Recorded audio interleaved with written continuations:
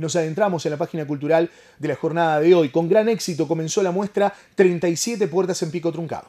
Más de 200 alumnos entre la jornada del lunes y ayer martes participaron en el Salón Cultural de Pico Truncado de la muestra 37 puertas. Los colegios secundarios eh, número 14 con el cuarto D y C, quinto B y quinto C, como así también el colegio Juan 23 con primero B, segundo A, quinto B y quinto C asistieron, entre otros establecimientos, a la muestra 37 puertas en la jornada de inauguración y en la que prosiguió en la jornada de ayer. El director de Cultura del municipio, Cristian González, expresó su beneplácito a la gran aceptación que está teniendo la iniciativa.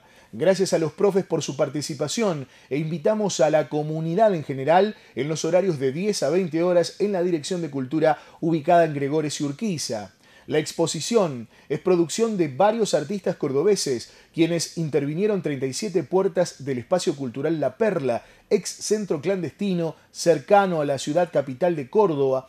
Eh, recordemos que esto fue un centro de detención de la dictadura cívico-militar de 1976. ¿no? Detrás de cada una de esas puertas que se exhiben acontecieron cosas nefastas, eh, violaciones, secuestros, torturas, muerte.